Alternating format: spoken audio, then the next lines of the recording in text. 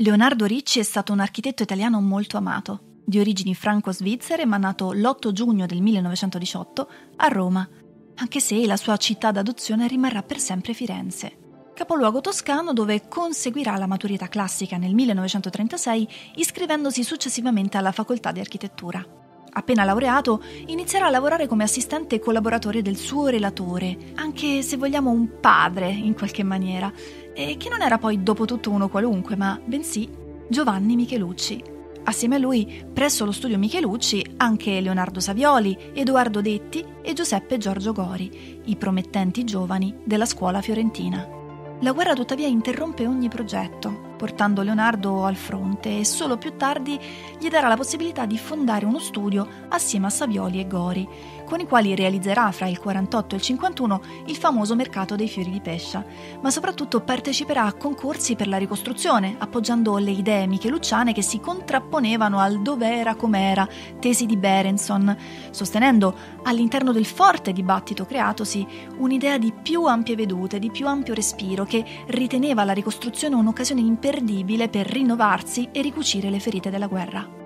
Il primo importante lavoro, tuttavia, risale al 1946 e si tratta della realizzazione del villaggio valdese di Agape. Questa prima esperienza segna moltissimo Ricci, il quale sviluppa un pensiero architettonico scardinato dalla tradizione, che vede l'uomo al centro del progetto e gli spazi come stimolo per valorizzare la comunità e la società, sostenendo che e cito testualmente, la prima vera operazione architettonica non è prendere un pezzo di carta e disegnare forme e schemi distributivi, ma è invece immaginare nello spazio il movimento di coloro che lo abiteranno.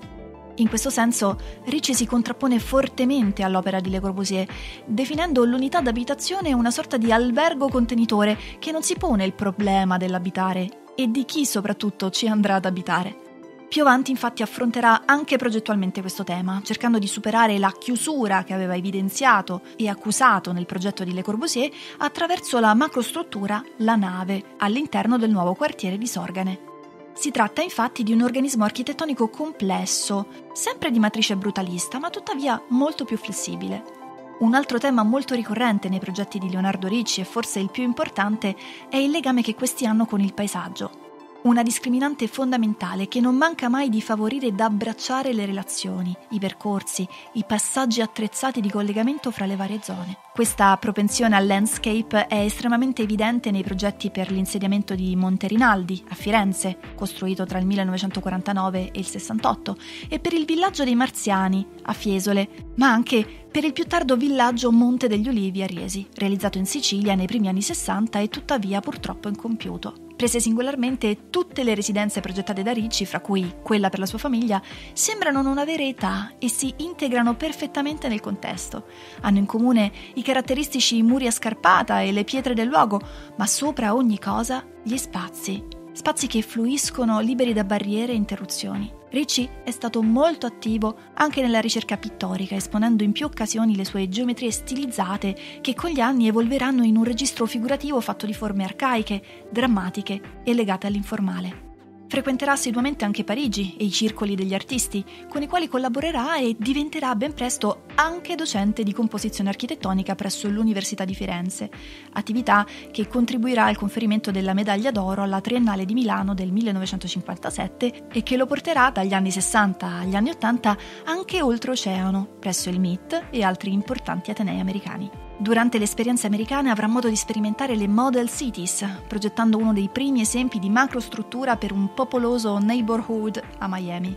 Ma soprattutto conoscerà più da vicino l'opera di Wright, che peraltro incontrerà di persona nel 1951 presso Palazzo Strozzi, in occasione della sua prima mostra italiana.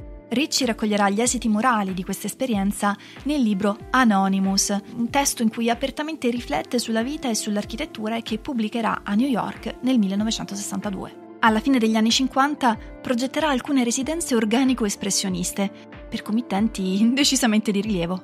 La casa per Elizabeth Mann Borgese, a Forte dei Marmi, risalente al 59, e la famosissima villa per Pierre Balmain all'isola d'Elba del 58.